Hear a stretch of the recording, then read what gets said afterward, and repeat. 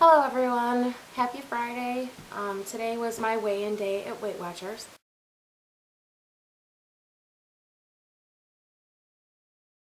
It didn't really count, but since the last time I was there, I had lost a little over two pounds um, because I started the week of Thanksgiving and just, just like many times before, I stopped. I felt like I was um, being denied a lot of the things that I wanted to eat, even though I don't really like Thanksgiving. Um, it's just something as simple as there, you know, if there's a bowl of mixed nuts on the table at my grandma's house, there usually is. I wanted to be able to eat them. I went today and I thought, well, it says here I weighed more. I weighed myself this morning and um, I always weigh myself before I go just so that I, there's no real big um, unpleasant surprises. And it said that I was about, you know, roughly about two pounds lighter.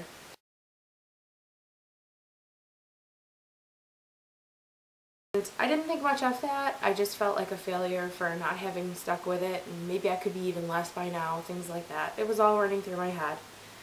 And the woman who processed my weigh-in started clapping and she she actually started clapping and said, you know, yay, you've lost almost three pounds since you were here last and usually when people aren't here, they gain. And her enthusiasm completely changed the way that I felt about coming back. I thought, you know what, whether or not it's water weight or who knows what the case is, um, part of me feels like I've been, I've even been more careful since I started making videos. It, who knows what contributed to that, but um, it doesn't matter what contributed to that. When it comes down to it, it's a step in the right direction. They gave me this cute little newsletter that follows the topic of the week. The topic of the week was staying on course and how you can tend to let things snowball. For me, this is all just snowballing. I every single time I ate something that I regretted. Don't do it. No. I felt like it's only this one thing.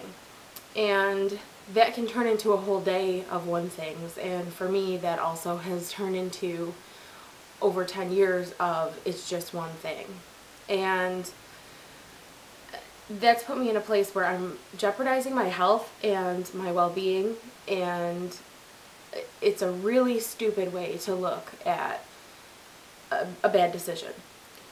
So what I want to do now is look at everything before I eat it and say is this a good or a bad decision?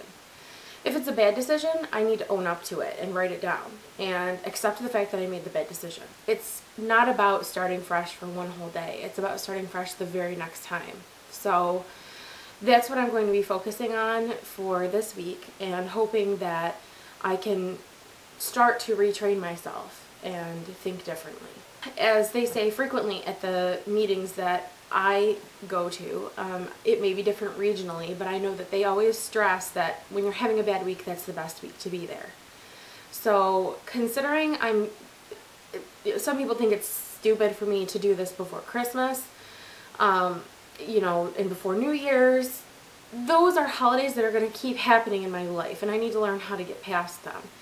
And when it comes down to it, it's really only a couple of days if I plan ahead, I can I can do it. And um, this would be at any other point in my life a time where I would say I can't start until after Christmas.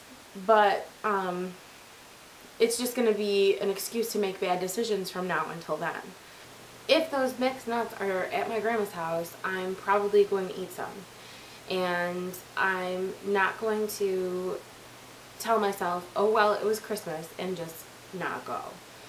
Um, I think that going to the meetings is a really key part of the Weight Watchers program because I've tried to do it without the meetings and I haven't lasted a full week.